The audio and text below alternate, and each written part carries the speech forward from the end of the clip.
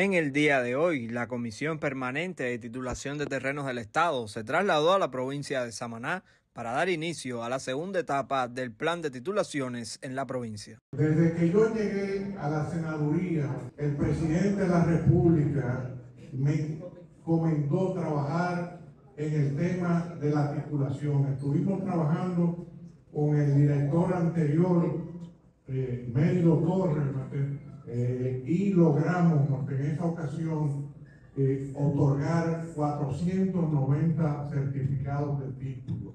Duarte Méndez, director de dicha comisión, afirmó que el presidente Luis Abinader tiene un compromiso con Samaná y trabajarán para que nadie quede fuera de este programa. Decía a ustedes que anoche me comunicaba con el señor presidente de la República para informarle de esta actividad.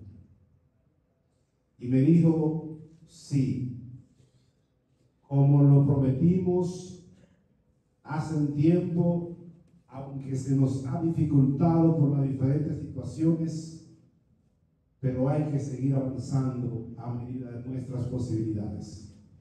Ya la etapa de las promesas de darle los títulos a los que les dé la gana, eso terminó. El presidente Abinader vino a regularizar, el presidente Abinader vino con la disposición de normalizar el registro inmobiliario de la República Dominicana. Como ustedes sabrán, ha sido de mi empeño, de mi dedicación, pero sobre todo ha sido un sueño para mí.